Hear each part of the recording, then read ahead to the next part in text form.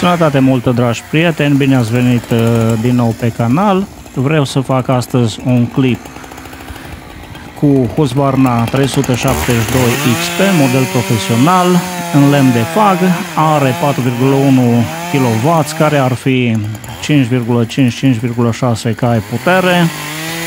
Modelul care a fost înlocuit de 572. Hai să vedem puțin cum merge și vizionare plăcută tuturor.